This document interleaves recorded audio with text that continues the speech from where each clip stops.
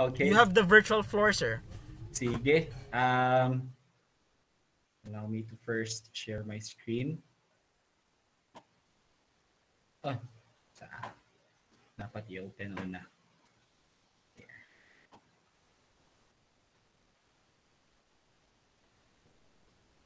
Okay. So, uh, just like any other class, let's start with the quiz. Okay lang ba? Yes, sir. Okay. Sige. Nabuhi sila. So, I think Ah, okay. I think full screen na rabas ako nga answer. Ah, okay. It's on.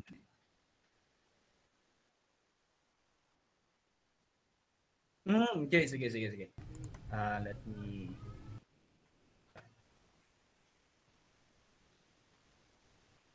Windows screen. Sige.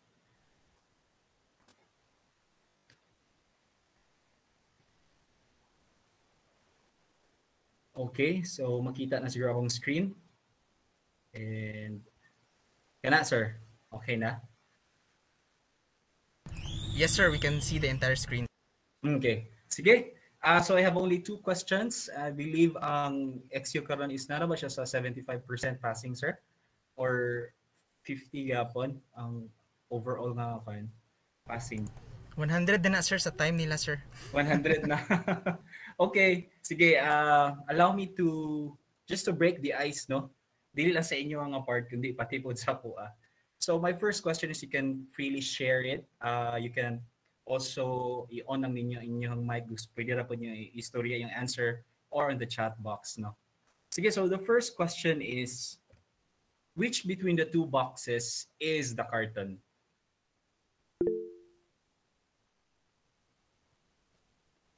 So, sa tanan ba, nabutang sa chat box? Yes, sir. Okay. Sige, so the correct answer for this one is letter A. Okay? So it's letter it's letter A, it's because by definition, ang carton sa industry na where I am at now is it should be corrugated, meaning naigiring-giring ka na makita sa carton. Regardless if wala siya ingana, bisag baga pa siya, pero wala siya giring-giring or corrugated, it's not considered as a carton, it is considered as a paper. Okay? Okay, bawi. Second question. Which between the two boxes is most likely to degrade faster? Is it A, the same, or B, the non-corrugated? Done?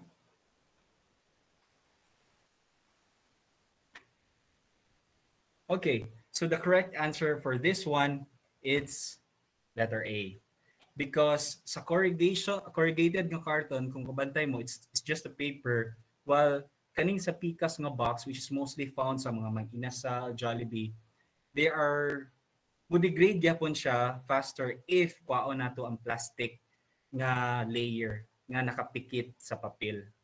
So mo na siya nga bisag paper siya, medyo matawtauran siya og degrade it's because of the plastic nga layer nga nakakabit sa iya. So, nabay nakakuha og uh, perfect score? Yes, sir. Okay, maayo. Majority ata, sir. Okay, then very good, all. very good. okay. Sige, so let me uh, proceed to the main nako nga pers- uh, sharing uh, this evening.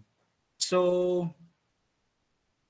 uh, what happened no or what changed before republic junk there was actually trash Vocacy, your junk disposal body and uh, so mo ni ang akong i-share karon sa kapihan nga unsa ano nagbag-o man mi ano gibag-o na mo ang pangalan and what changed or what pushed us to change it from trash advocacy to republic junk og ang name lang ba ang na-change na or appeal ang process no na change ba so who are we? No? We are uh, simply a scrap retailer, no? registered in Cagayan de Oro City under the DTI as a uh, sole proprietorship. Mainly, we offer a doorstep trash to cash collection service. So kung mag-book mo sa mong service, and then we're gonna pick it up sa inyong lugar and among bayaran.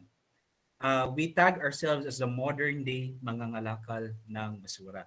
It's primarily because the, we, unlike the usual practice nga maglibot-libot, uh, among ginabuhat is we based on bookings and then we di- and then ana bookings depends our route on that day. So so far for last year from May to December, these are the number of recyclable waste that we have collected. As you can see, mostly are scrap metal ang top and then carton followed by the carton, cans, and then by the plastic ang last na din ang paper.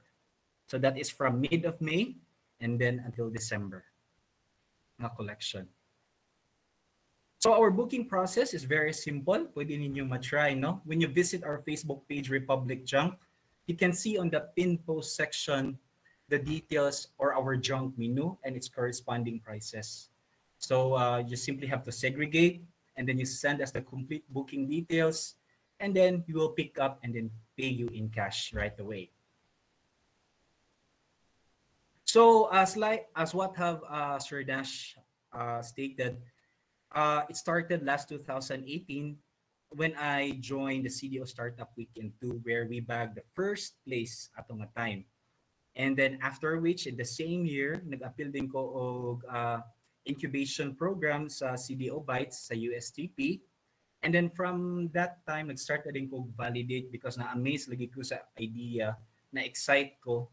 So mo nga, I started to ask stakeholders like schools, uh, I talked to junk shop owners as well. Nangutana sad ko og mga junk peddlers o uban pa nga concerned stakeholders. Anang anyone who produces waste no technically akong giistorya lang yun. And then I also started to cater bookings through a Facebook page that I have set up. Later I will discuss on the validation nako no so in the next year 2019 to 2020 uh, I enrolled to another startup incubation dito sa MSU IIT IDEA no? Ang ilang pangalan sa incubation hub. And then on the same year I also joined the KMME Kapatid Mentor Me program. Uh, in these two incubation program, mas na-refine ang akong definition sa akong startup. And at the same time, I was made aware of the technicalities and regulations in starting a business. So it made me realize nga ay nga di ang ginagian sa mga tag-iya og negosyo no. Busa di sige sila una-una sa ah, sunod kwaon ang kwarta, ahani ang pag-budgeting sa so, grabe na gyud dito nga time.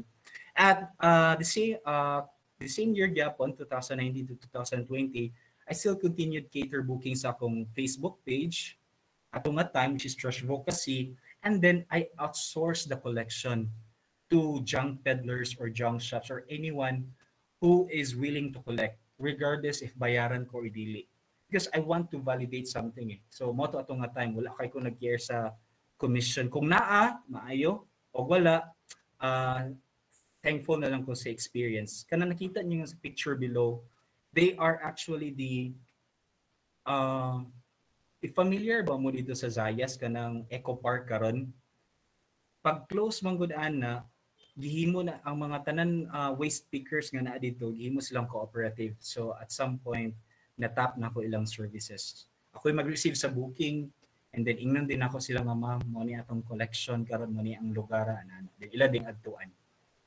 Kundili sila busy. So the next year, which is uh, last year, I officially registered under the DTI on my own end, which is I rebrand na dayon to Republic Junk. And then akong Facebook page, I changed it from Trash Advocacy to Republic Junk. And then when I started to cater bookings, ako na po yung. So so far uh, what changes no? Unsa may unsa may nangabago ato nga time from 2018 to uh, last year. So this is what I have discovered during the validation. Medyo ubay-ubay siya. Ang trash advocacy good, ang junk disposal body was originally a yellow pages for junk shop. Mo gid na akong intention lang wherein uh, people or like households or establishments would be very comfortable in disposing their recyclable waste kay naay one one stop shop ah, dinig lista sa junk shop mo pinaka nearest however when I asked the junk shop kung mo-cater ba sila collection, yes, they cater, but it should be in volume. So kung ako lang di ay balay, ang mag-dispose ng recyclable waste, uh, dili ko nila i-cater because again, junk shops cater to volume of waste. At least 500 kilogram above. So I decided to be an Uber. An Uber, uh, not necessarily nga mag-app ko, though I did try. During sa ko incubation sa USTP, I, I did reach out to some nga mga other incubators nga na ay technical skills. However, they have other priorities ato nga time. So what I did is, uh, what I did was, I, I still uh, do the Uber thing. It's just that there's no app. Ako ang app. So mo nga through my Facebook page, I cater the bookings. And then ako na din mangita kung kinsa nga junk peddler ang musugot. So mo na din to. Uh, cater ko bookings and then pa-pick up. Cater bookings, pick up. Anak lang.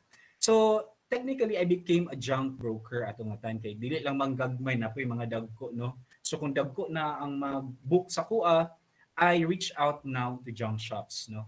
One of which is has become uh, my friend until this time na which is sa na po ko galabay sa akong mga recyclable waste nga na-collect. So what I have learned ato nga time is that there are certain limitations gidi ay sa katong TriCab which is first mobility no. Dili di sila gaagig highway because of traffic regulations sa three wheel nga mga vehicles dakpunon siya. So kung nakoy booking sa Carmen niya akong friend nas tagagusa nga mo pick up di siya katabok. Kung mutabok man siya magtago-tago mi ahamo agi. Second is the capacity. Because of its TriCub, they can only focus on high-valued recyclable waste. So kung nakay pet bottles of plastic, uh, medyo bugat kaysa ako itong nga ingon pero mubalibad na lang maybe. It's because of my partner, di ba siya makakater kaya as much as possible, ma-maximize ang capacity sa iyang TriCub. Which is the type of recyclables, medyo ma-focus lang sa high recyclable waste nga value. And then there are some ethical practices that I have discovered nga you know na unsa usually gakahitabo nga akong na-discover. And aside aside pud adna, ang isa sa changes is ang among brand name, no? Or the name Trash Advocacy. Because it came it came from two words, it's very obvious, no? Trash and advocacy. Uh, every time mag-collect me, kung pangutan-on me, unsa ang trash advocacy, galisin sila pronounce, so ako pang i-discuss, uh, it's trash advocacy, ma'am, trash and advocacy. Uh, lisod ka ayo istorya, kasi uh, most of the time ga-explain ko and we sounded more of an NGO than a social enterprise or a business. Uh, so mo to nga isa sa reason nga akong gi-rebrand siya because very mouthful. So when I re- registered last year, these are the changes that I have implemented. First is renaming it to Republic Junk ang trash to cash partner ng bayan. So dili na siya aksidente nga Republic Junk lang ang trash to excuse me, uh, ang trust to cash partner ng buy, it's because of the SEO purposes, no? There's the word junk and trash to cash. So every time na ay mag-type sa Google trash to cash or sa Facebook, para dali ni makita or dali ni ma-search. So that is why very important yun ang pangalan. And I've learned during the DTI na seminar na as much as possible kung unsa imong business mo pwede imong pangalan. So kung mang baligya ka og mga bread, so it's either bakery, or uh, mga other name na directly relates to your product or service. Para pag search engine na napangitaan sa imong prospective customers, dali ra ka mo-locate or makita ka sa search engine. So mo na siya akong gitwa. Next is, as you can see on the photo, uh, among sakyanan karon is Bongo. It's because we would like to be uh, geographically mobile, not just in Cagayan de Oro, but also nearby municipalities. Nga maka-cater na sad mi og high, uh, low, medium, and high volume of junk.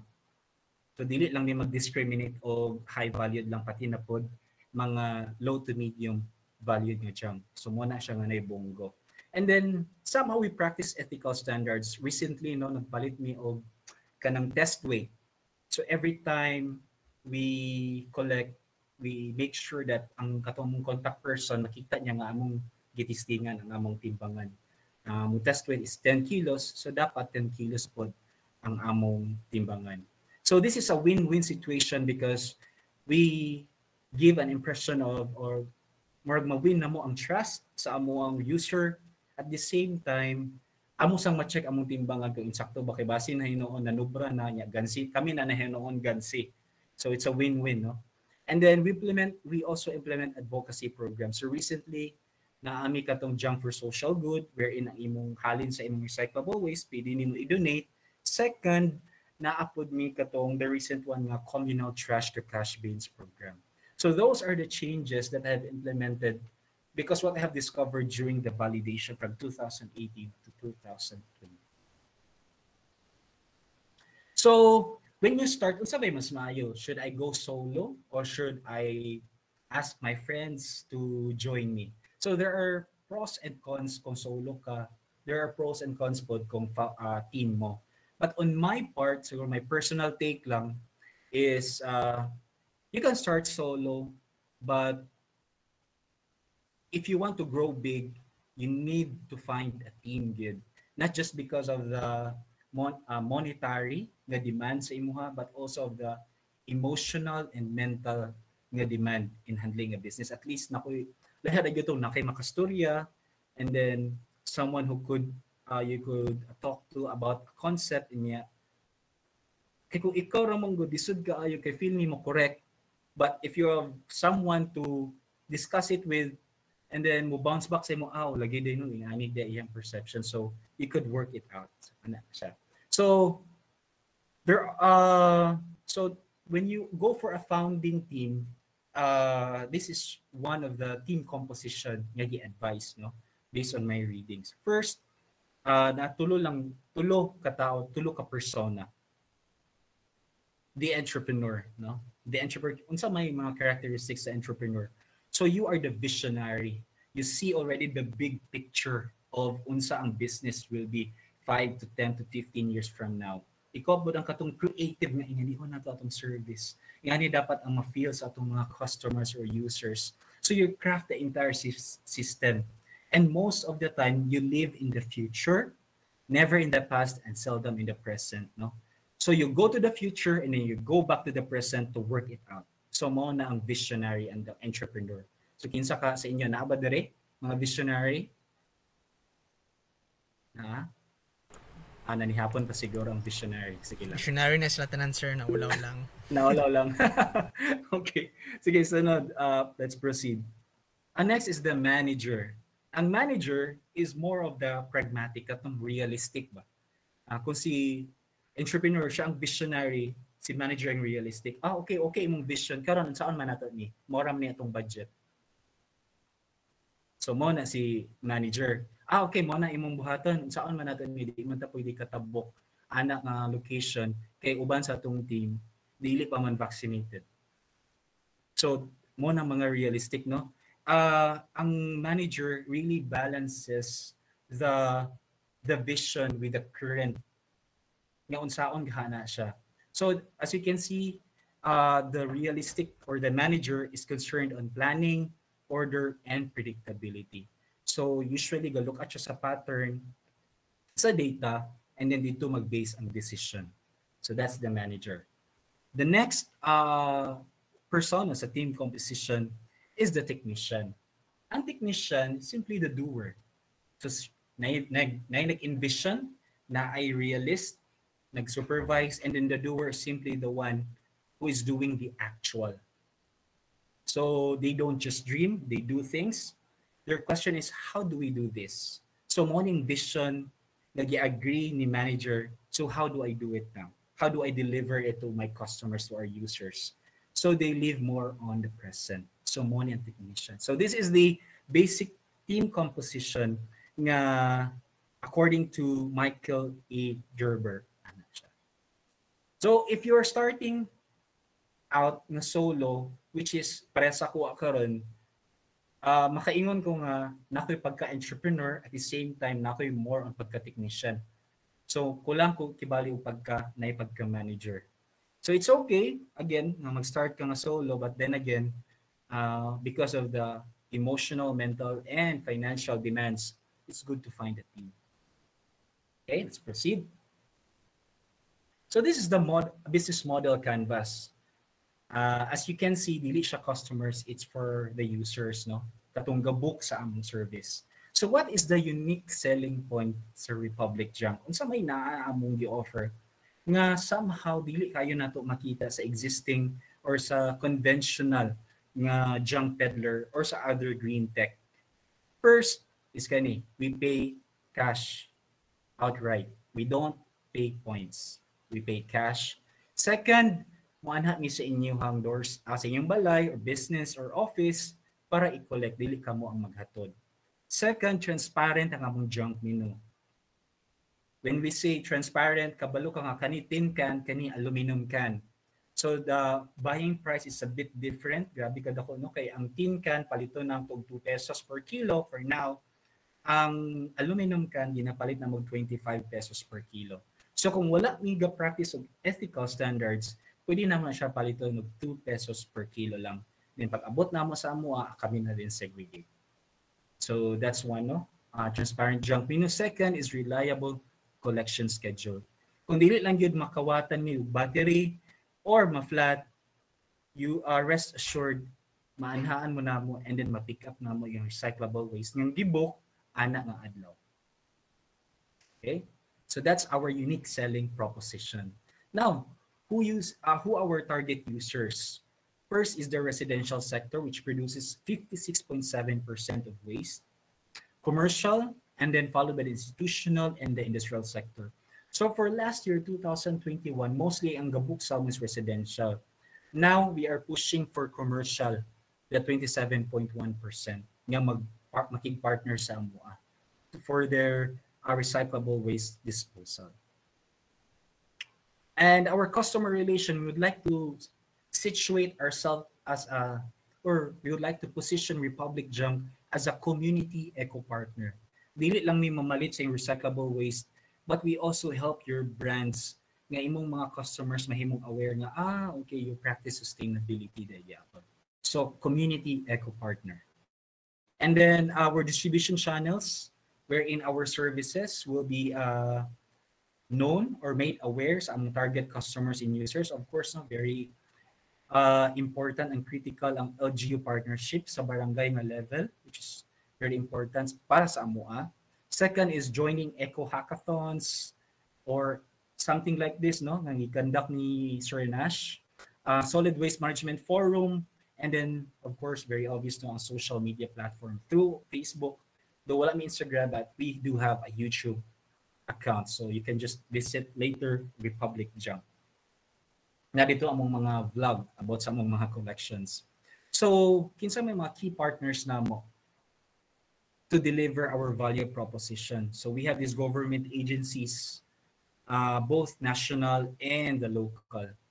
So there is Cagayan de Oro, natay Clenro, and then napod sa DNRMB, and mga municipal uh, municipalities like Hasaan. So katong sa Hasaan, na sila Bailo Basura Store Program. Kung na recyclable waste, adto ka sa tindahan, bayluan din mo o mga like kanton, uh, sabon, uh, 1 kilo of rice, depende. Nagkato din mga recyclable waste nga ilang natigom, kami din magpalit ato. Ang halin, ibalik ra po din nila sa Bailo Basura Store. So, important kay sila nga mahimong partner sa namo para pod naasad ni makulit and then we earn uh, later no another one that we are hoping this year is the CSR program of the FMCG sector like uh, Robinson, Liwayway Corporation and Coca-Cola or kaning sa mga fast moving goods nga sector. And then amo sang gitagaad og kaning emphasis ang mga ports like uh, sa terminal nato bus and kaning sa pantalan which is hopefully ma-push through no nga mong partnership with WWF para sa ilang clean ports nga proposed nga program hopefully so our key activities so that we can generate the revenue stream um, cater more collection so ang setup na mo is ako na observe is daghan na ay demand pero ang supply karon ang pangitaon. Nanay buyer. Uh, ang pangutana karon is kinsa man uh, marabag naanay funding to buy recyclable waste. The question is aha man ang recyclable waste.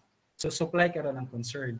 So it's very critical ang among collection bookings yun. We need to dev- uh, devise mechanisms nga mo increase gyud ang collection namo. And of course no, um kana pong mga incentive programs nga maganahan pa nga among users magbalik-balik og avail sa among service. So those uh, those two things are very important sa mga activity. And of course, no, looking for good junk buyers. Most um, isa sa concern sa solid waste manggod nga recycling is most of the end buyers na sa Metro Manila no uh, situated uh, napoy Davao napo dani gamera kay sa Visayas and Mindanao so recyclable siya ang isa ka waste pero dili siya tradable it's because of the logistical reasons nga walay mo palit ana kay ang buyer tuwa sa Manila walay mas duol kay kung naalay duol siguro na nay demand ana siya. Tradable siya, I mean, recyclable siya at the same time tradable pod siya. So mo na siya ang isa sa ako nakita nga value chain challenge pod. Ngano kanira nga mga recyclable waste ang gakapalit o ang gakabaligya dinhi sa ato ah, region. Because of again number of buyers nga main. So the key resources for us to uh, operate are of course heavy me sa manpower because our job is very laborious. Hakot segregate hakot na pud baligya. And also the transportation and storage but mostly ang internet connection because modern day mga ngalakal ng basura most of the time we should be online to cater questions and to cater bookings so our cost structure um, kung makita ninyo among indirect costs are usually salaries and wages of manpower, office materials and equipment. Mas dito heavy ang among cost sa storage area which is usually rent if wala namang gipalit ang lote and transportation labi na karon nga ang fuel gisigig taas. So among source of income is when we sell it to junk shops or to end buyers. And then napoy usahay surplus kana bang uh, for example nakapalit ni og kanang okay pa nga item like gasol ipatimbang lang siya kay gusto na lagi ipa-dispose sa peg-iya. So among gitimbang instead nga i-junk to excuse, instead nga i-junk to siya, pwede naman siya ibaligi as surplus. But most of the time we earn our uh, revenue from selling junk na. So it's basically buy and sell lang ang model. So that's it for our business model canvas for users. Okay, so now let's proceed to the competitive matrix. Uh, we identify uh, competitor na mo nga na modernized nga approach is best or the kanang nasa divisoria ba na karon ninyo makita.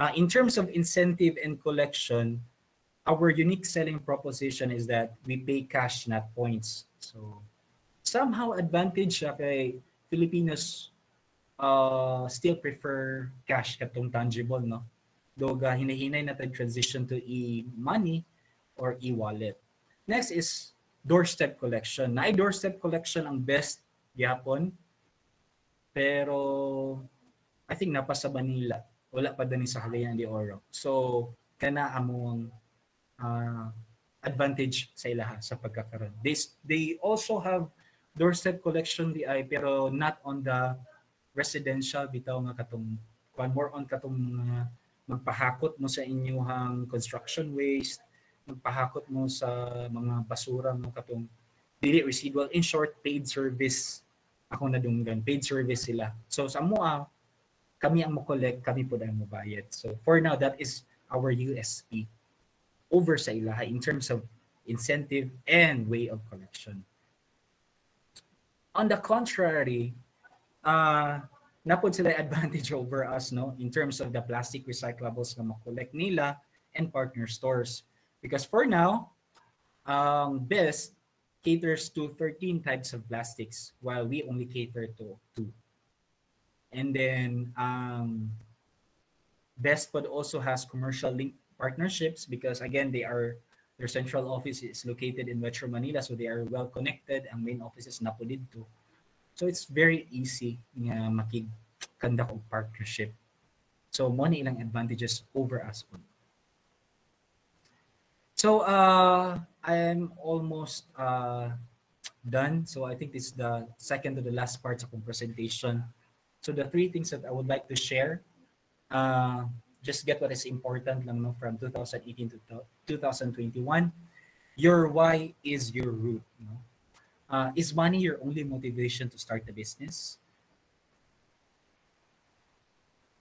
Because your motivation will come. Um, I ask this because when you're starting a business, kung dili ka gikan sa uh, family of businessmen or women, um, the first two to five years will be very kanabang challenging. So if money ang imuhang motivation, na possibility nga if offeran ka job offer nga tsada kayo nga sweldo, you might stop your um, your startup. Pero you will not stop, ma-fade lang din na siya as what they say. Startup don't die, they just fade. So make sure nga imong motivation is money and beyond money. Importante gyapon ang money. No? Uh, opportunities and challenges will surely come. Sama sa giingon, no? Ang trials kay dili lang hardships but also opportunities. Uh, mga offers nga ihatag sa imuha that will make you think if you continue pa ba ni startup or dili. So, mo na siya, no? It's not just the challenges. And uh, so, at the start, you should know your why because it will be your reason to keep you going. Next would be uh, your startup journey is uh, self-discovery. Your business will be a reflection sa imong personality. Like para dahil sa kuha, ito nag-start ko, hili ko nga dapat siya ni ingani mo na nga more on God, give emphasis ko sa graphic design. Di sa gula ko dyan siya, pero ako make sure nga impress first impression last good. Kay nga na po di akong personality so ni-reflect sa akong business no? And then uh, you may fall short on your goals uh, but always remember progress is is important po uh, don't take it hard on yourself and then a cry be angry celebrate and then enjoy your journey as you venture to a startup and then uh, last would be just start So good lang. And then uh, let time be your capital. Not necessarily nga nagyo kay daghan kwarta pag yun. Kung nakay kwarta maayo but if kulang or wala, then let time be your capital. In what way? You research or second, you go on an immersion. For example, like sa akong part. Ato nagsugod ko, di ko kabaloon saan mong good. So what I did was uh, naguban-uban ko mga junk peddlers. Bahalag tagaan ko nila commission or dili basta nag-uban ko sa ilang booking, nakita na ko ang dynamics, ang process. Mo to. Mo to akong gigahin, mo to akong capital ang akong time. So, pwede po na nga ma-practice ninyo. If na may nakita nga industry, then be part of that industry at first. No? Um, check the process, no? Unsa bay way nga magpadagan ni nga business. Uh, start where you are. No? uh, there are many free platforms. Ako, gigamit na ako atong nga time isang Facebook page. It's for free. Dighan kaayo, no? Uh, you can create group chats. You can uh, also have, kung naamoy budget, you can do Facebook ads. So, dili na kayo necessary nga mag-flyering yun. Uh, so, pwede na siya, no? And then, execution validates your assumption. Uh, as what they say, if na kay prototype, you need to have a prototype so good. That is your assumption, and then customer feedback dayon. So pag dapat na kay prototype nga imong i imong i-execute just to test your assumption. And talk is cheap in the context nga mag-overpromise ka and then under-deliver. Kana yun ka nang, it's one way to to kill your business. Kanang mag-overpromise ka. So ato nga time, na naay nagbook. So napog kasabot nga junk peddler ang nahitabo wala siya nito nga. So sa patag to nya di ko gusto nga mahi, nga mo reflect man sa kuha, di man sa kato akong nasabot nga junk peddler. So what I did was nagbike ko padulong balik sa Carmen dito sa Zayas nangita ko junk peddler ato nga time kinsa available yun uh, thankfully no nakoy nakita so on the spot yung banan ako siya dito sa uh, patag from Carmen. So nag-bike ko, then siya nag gamit siya sa iyahang kwan, uh, tricab. And then gitagaan ko gunyag 200 pesos ako na duman So mo to siya uh, mura bag imuhang gigampanan ang imuhang service. So mo to akong gibuhat ato nga time. And then uh, so these are the recommended books uh, nga you could read. Again, mindset also matters. So these are the three books nga somehow ni nidulot pod sa ako. And then again, this is uh, muni ang isa sa mong collection. Ang isa is ako ning kauban during collection. Usually duha or eh. And again, this is our social media network. And if ever uh, nami Facebook, napod mi YouTube, and if in case gusto mo mag-dispose of sa inyong recyclable waste, you can freely visit our Facebook page and avail for a trash to cash scheduled collection. So again, thank you for listening and uh, we can proceed to Kapihan if you have any questions. Thank you so much, uh, Sir Hope, for that very amazing presentation. Uh, same with the class, this is the first time that I, I we've know I've known Sir Hope for a few months already, but this is the first time that I really saw him talk about his startup, and I really pick up a lot of points. I do hope kamupod. So I have a lot of things to say and to comment, but I leave it first to the class for your questions or clarifications or concerns. So the floor is now open for your queries, everyone. Let's take this opportunity to ask uh, Sir Hope.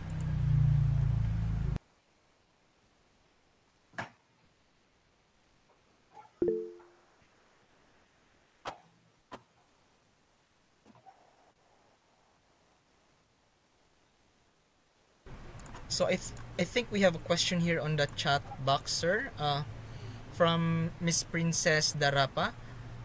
Uh, she was asking sir if during the, what were the challenges you encountered when you first started sir i think this has to do with the trust, trust advocacy sir mm-hmm.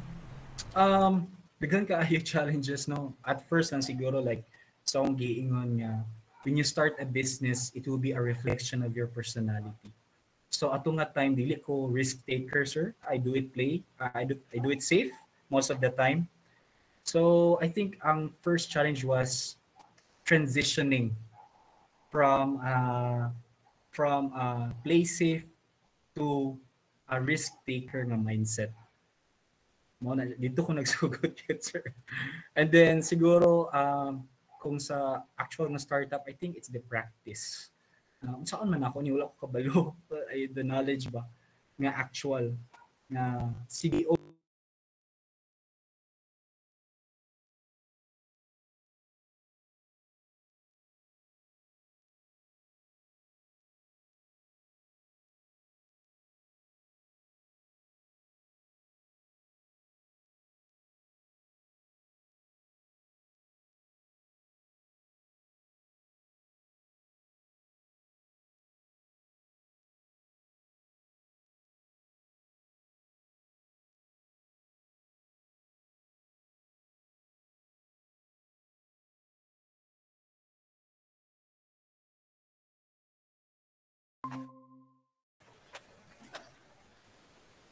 Ah, no, that's sir. Kanang Sorry, I think we got I don't know how to uh, word this. Uh, sorry sir, I don't sorry. know how just... to word this but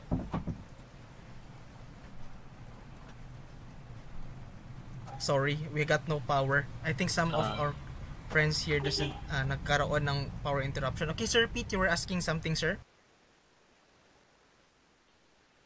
um I don't know how to word this but from what I gather you make a you make a lot of or you try to make a lot of connections to in order to make things work right sir? Yes. Kanang- Uh, kanang nakay do you have any problems with communicating with new or old like do you have new and old like clients or people people of interest uh, in yung work not like kanang business deals or whatever. It's just like sa lisod lang to let's say catch up. Would lang to oversee certain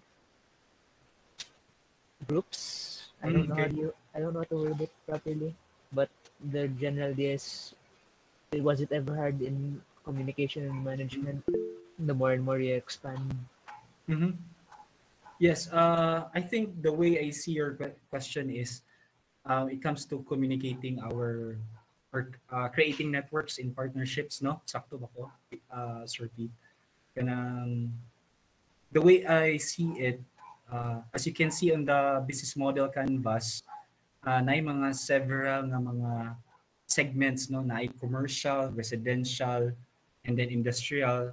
Then on the key partners pod na apod tayo mga uh, VI, uh, government agencies, mga NGOs, and mga corporates.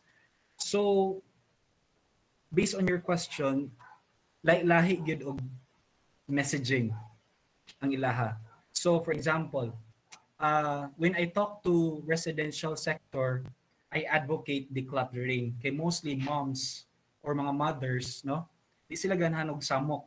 So, akong messaging sa akong service is um, kanang pag-declutter na mo ma'am plus makagain pa mo cash. That's my messaging.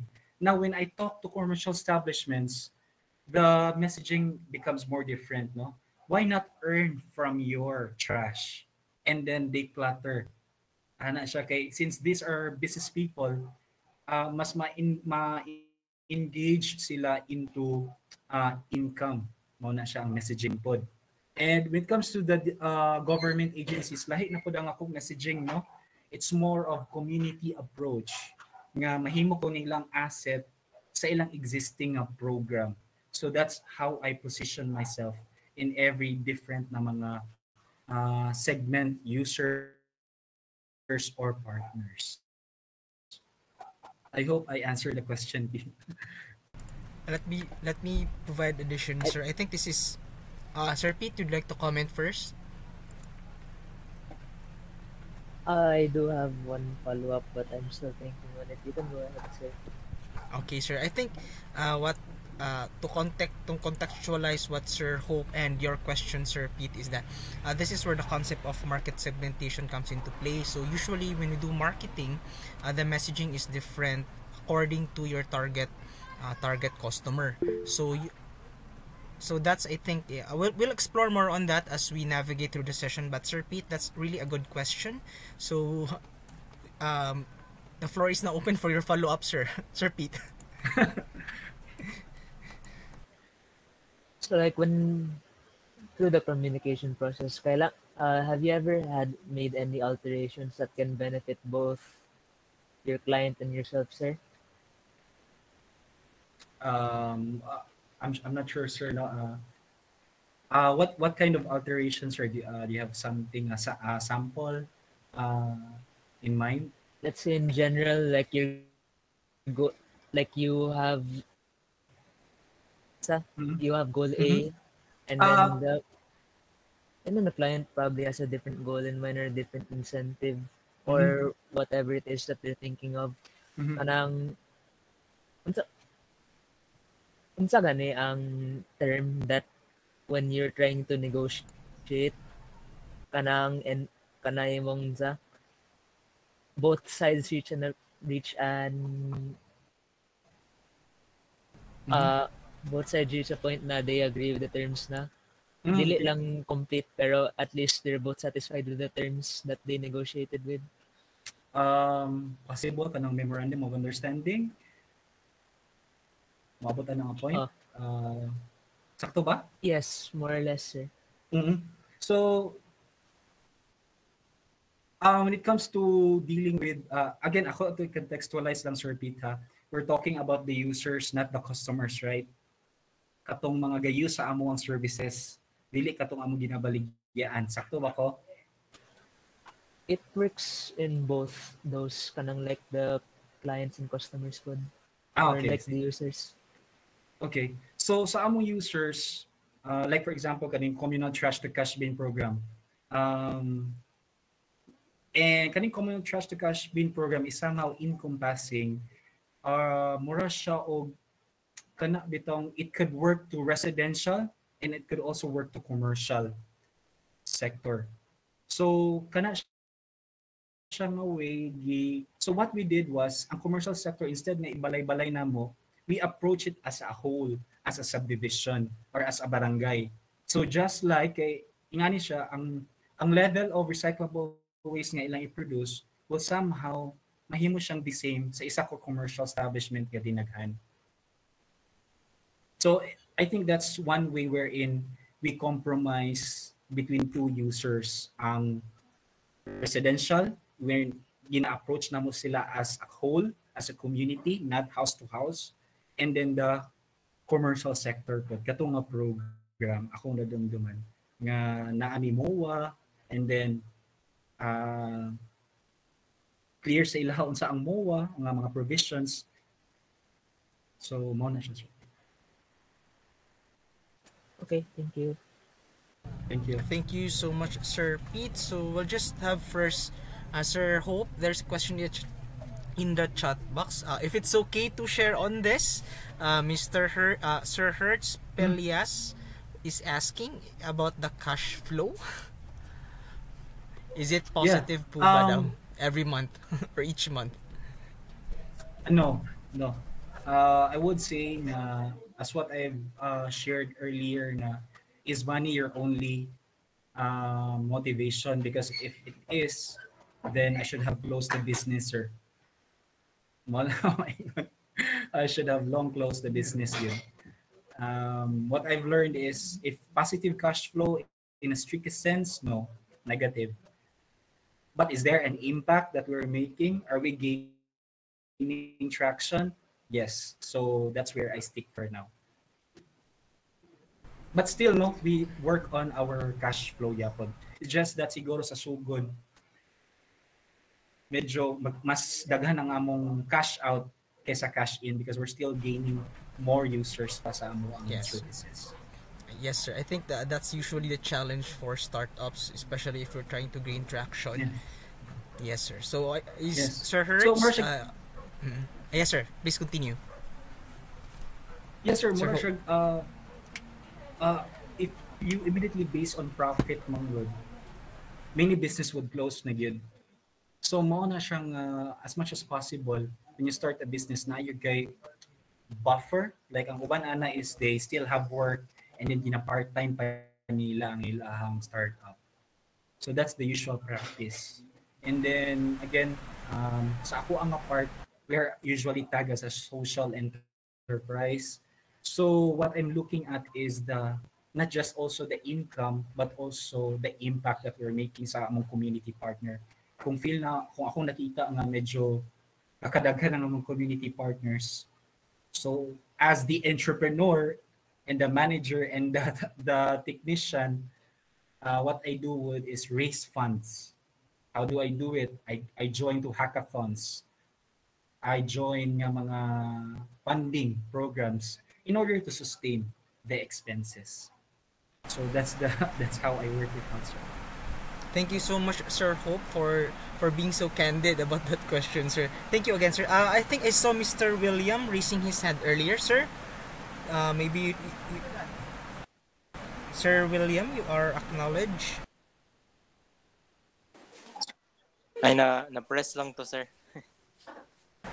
Okay, sir. So I have a uh, okay. Thank you so much. I know you have a, still a, still have a lot of questions. Na shy lang siguro, but uh, Sir Hope naman provided his contact information as well as yung sa Facebook. So feel free to uh, quest uh, if na kami questions further, you could ask him or you can course your questions through me.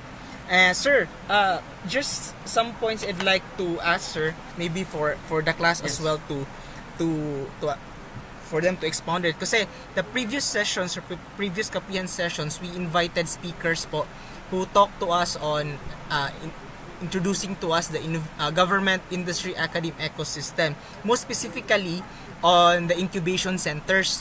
Uh, being a graduate of both uh, incubation centers here in Region 10, si CDO Bytes and IDEA, uh, maybe you could give uh, at least your experience on on how you came to know about these incubation pe- uh, centers, giunsa ang application sir and how you got in and the experience basically sir so that siguro uh, in the future if these uh, if these uh, engineers would like to de- develop their idea just like what you did, uh, makabalo sila or at least they'll be introduced to the processor.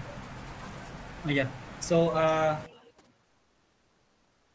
I think, uh, I'm not sure basin po Honda within five years, sakto ba Sir Nash? Nga na na po incubation program ang Savior. Yeah, we are no? that's that's one Hopefully, sa among uh, with our program sir we are working sir na 20 until 20, uh, up to 2025 our hope nga at least two more incubation centers funded by the government but what we are really aiming Na. is kanang private uh, led na incubation center sir na gyud um, Mm, the, pub, okay. the private sector would be investing in it but for now you're you're right sir uh, we are trying to uh, nurture the incubation center for Xavier Okay. So, sige, uh, to answer the questions Sir National, uh, what are usually the process in joining incubation program? So, di lang sa Tamulayo, di lang sa, sa Cagayan, uh, CDO Bytes, and then one in Iligan, MSU, uh, IDEA, MSU AIT. It's very, uh, very simple lang. First, identify the problem. Na lang, unsa to nga problem, ang unsa ang imong ginasolve. Second, what is your proposed solution? Ano siya. Dapat you should put it in writing, no? The third is how many are affected or is affected sa katong problem nga imong gina-propose. Like for example, sa ako nga part residential uh, sa Cagayan de Oro, butang nato, there are 80 barangays sa Cagayan de Oro or 81. Let's just say kana sila tanan 40% are having solid waste management issues. So dapat clear ang imong number sa when it terms to katong na affect no sa katong na problem. And then if you could provide um potential or projection nga income sa imo ang i-propose nga solution. Like for example, for the first year mo ni ang projection, second year mo ni ang potential. But if wala, okay lang. I think very important is though most of the incubation programs gusto sila kay incubation man good so mostly idea lang yun. But for higher chances of winning or makuha, mas maayo og nanamoy prototype. Nga natistingan gud ninyo para makita sa incuba- incubator nga ha okay nagsugod na gid sila. Let's support this group. Kinana na sila gisugdan. And once you uh so kana siya patong five things nga inyo akong giingon, you will pitch it within three minutes or five if ma if ganahan sila or if ever depende 10 minutes. So at least you should be able to articulate your business uh, what made it valuable uh, regarding the problem that you have raised. And once you're in free halos tanan uh, 99.9% so free in a sense katong wala covid sir Nash or I think in 2019 um katong sa ideya mig atumig uh, startup weekend siguro to or startup month. So ang flight ninyo, accommodation, I think is for free or i-reimburse siya 100%. Inyong snacks, uh, inyong office for a couple of months will be free.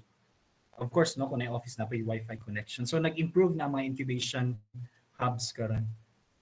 So, kung mag-start mo, yun, ah, we have our office here na nasa incubation hub. So, dili mo maulo mag-present sa mga clients. So, mo na siya ang advantages kung nakasulod mo. And of course, no, very important, network. Madako inyong network. Ah, mo din ni ang nasa government. Ah, mo din sa private sector. Mas dali mo i-introduce or sayon mo introduce kay naman mo anak na program. So mabak uh, mabak-apan pud mo nila if ever na mo'y apilan nga other na pod nga uh, funding um, funding nga mga programs. So maka-recommend sila. I think most importantly lang sir siguro is network. Kana lang gid akong maingon. Dako imong network, madaghang kag maila. Thank you for that, uh, Sir Hope.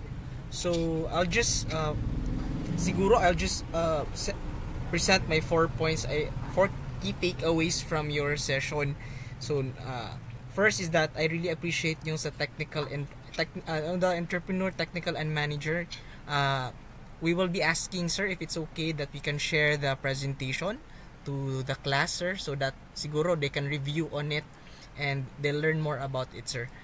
And also sir, I think what was very important is yung quotable quote na startups don't die, they- they just fade. So, uh, Yes. and also yes sir and also i think uh, for the class sir kasi i've i've i've introduced them to several pitches already and what Mhm. i think is most uh you uh, admirable of your sharing sir was on when you uh, how you you did the peddling para mailhan gid mo imuhang ko answer ecosystem imong customers which is i think uh, the class uh, kasi they saw a video wherein somebody pitched and one of the comments was uh, they did not he did not know he did not expound more on his customers. So uh, with your story uh, knowing your customers it really gave you a great overview of how the ecosystem in your business works.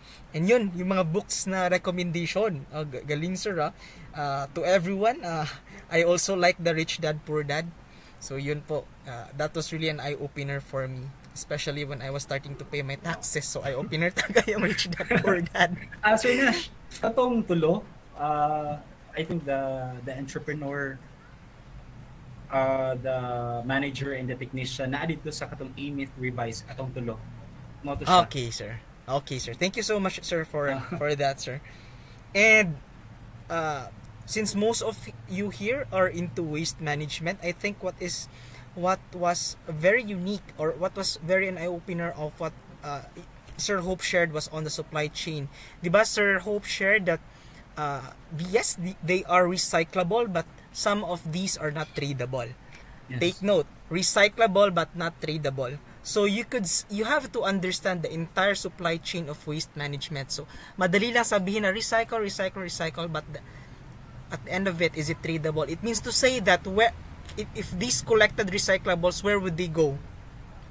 So di ba? So yun uh, a few a week a week ago I was talking to Sir Hope with, re- with regards to Tetra Pak because uh, we are doing a feasibility study for Tetra Pak if they could build a recycling plant here because yun nga uh, yes they recycle however dun, nandun pa talaga sa Metro Manila yung planta nila so how about those na Tetra Paks here on Mindanao or Visayas where would they go so you have if you are to if you are to uh, ship them to Luzon for processing so that we could reuse them again I sorry we could recycle them again so that would entail another type of cost. So looking at the overall supply chain would make us understand why some of these problems are still here even if our technology is evolving. So that is something that we that is a challenge for us engineers as well.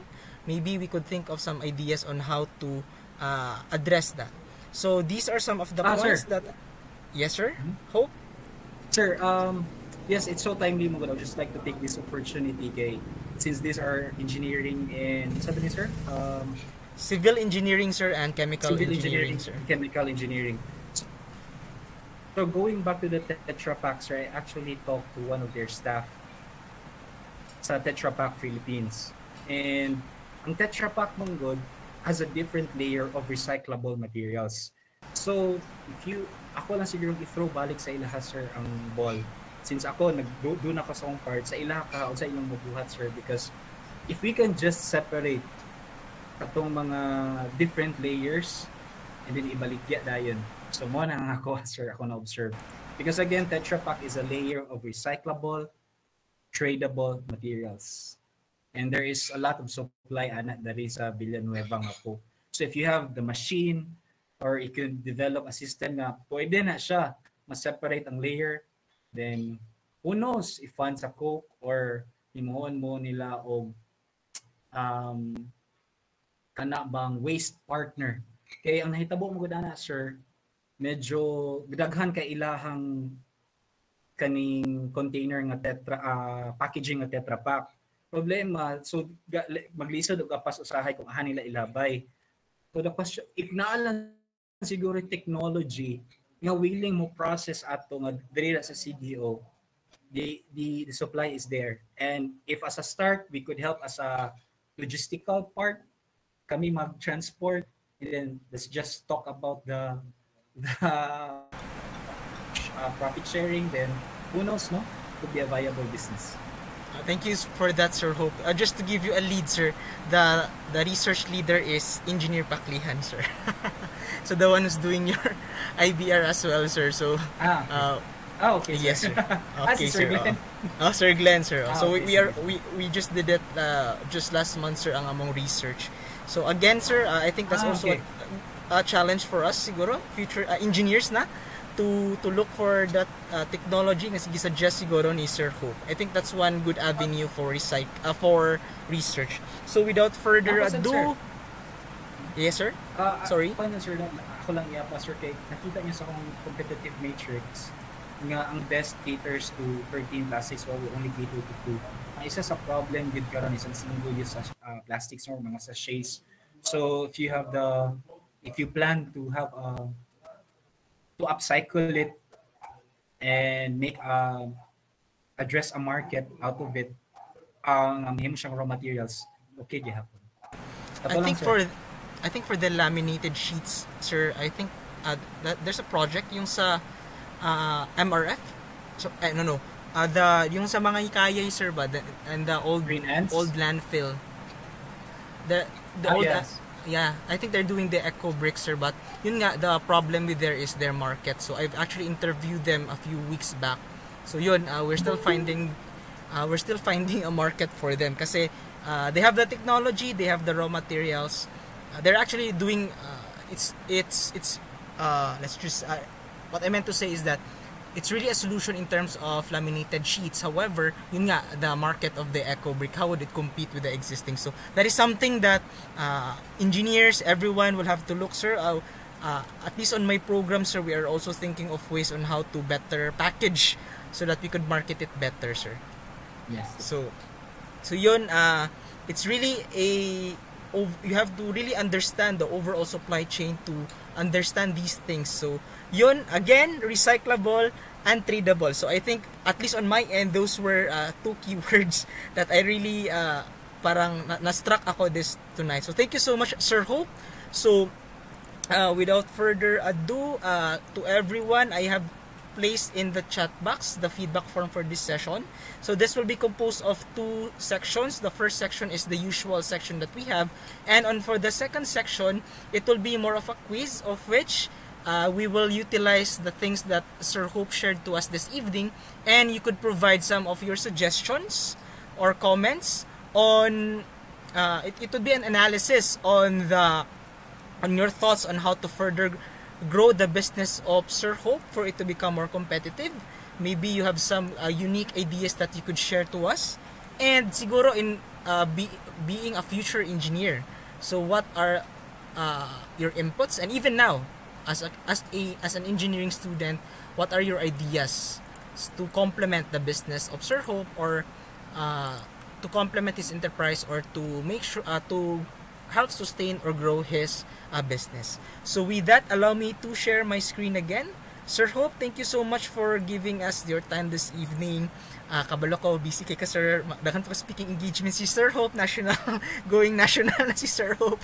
Speaking engagements, thank you so much for uh, being here with us this evening. So allow me to present. Can you see my screen? Everyone, just for confirmation. Can you see it po? Okay, sige po. So Xavier University, Ateneo de Cagayan, the College of Engineering, the Chemical uh, Chemical Engineering Department uh, Certificate of Appreciation is presented to Mr. Hope D. Carino uh, of Republica Junk and Scrap Trading as our resource speaker for generously imparting his knowledge and experience on the session, the modern day mga ngalakal lang basura, the Republic Junk Story, during the Kapihan Session series of our class Technopreneurship.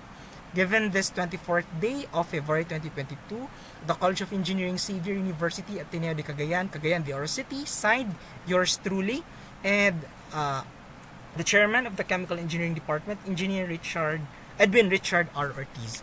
So let's give him a round of applause. Sir Hope, thank you so much.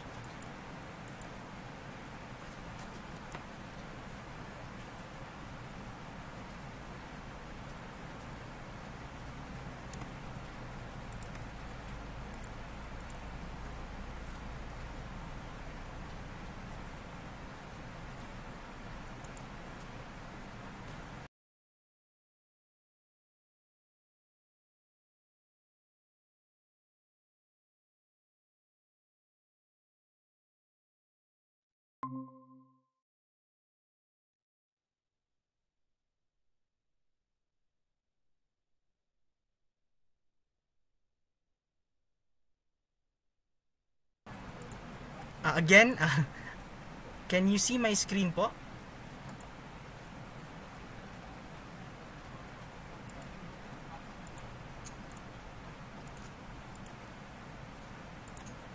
Yes, sir. Sorry, I ju- wala talagang kuryente sa aming area. okay, uh, we'd like, sir? Hope, we'd like to present this certificate of appreciation to you for generously imparting your knowledge and expertise on the session, the modern day mga ngalakal ng basura, the Republic Junk Story during the Kapihan session series of our course, Technopreneurship. Given this 24th day of February 2022, the College of Engineering, Xavier University, Ateneo de Cagayan, Cagayan de Oro City. Signed, yours truly, and the chairman of the Chemical Engineering Department, Engineer Edwin Richard R. Ortiz.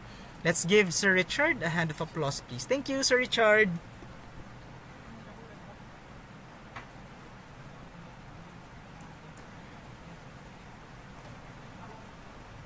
So with that, uh, thank you, sir. Again, everyone, uh, I have shared the Facebook page of Sir Richard in the chat box.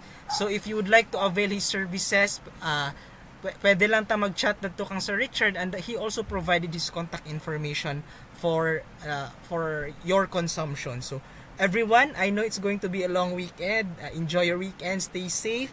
And yun, uh, please don't forget to answer the feedback form as that that contains your seat work and quiz. So we will look forward to all your comments and uh, and answers or inputs to that exam. So thank you so much. Uh, before we formally end, I'd like to take a screenshot. So if it's feasible to turn on your camera, please do so. On my end, ngit-ngit kayo. Di na ako ma-turn on akong camera. Pasensya. If it's feasible po to turn on your camera, Sige po. Requesting uh, everyone to please turn on their cameras. Ah, brown out pa punta. Okay, sige. Okay po, al- al- allow me just to take the screenshot. Sige po, uh, 1, 2, 3. 1, 2, 3. On. Sagusa, brown out. thank you so much, everyone. Sir Hope, thank you so much, sir. We'll keep in touch. Sir, thank you so much for your sharing for this evening. So, on my request, uh, someone to please lead us into the closing prayer. Thank you. Siguro si Sir Kian could lead us into the closing prayer, sir.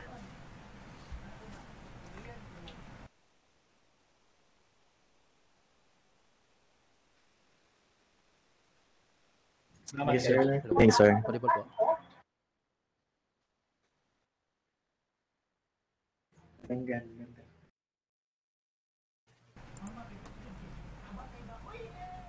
Sir Kian, could you lead us into the closing prayer? Sorry, I'm getting cut off. Hello po, hello. Klaro na po, sir. yes, sir. Clear, sir.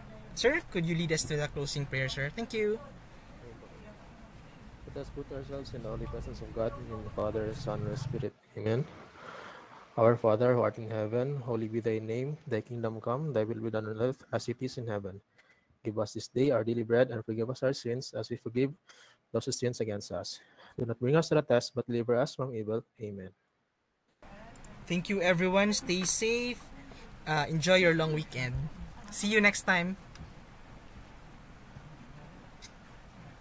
Thank you. Thank you, Thank you, sir. sir. Thank you, sir. Yes, sir. Yes, sir. Salamat kasi kahit burn out.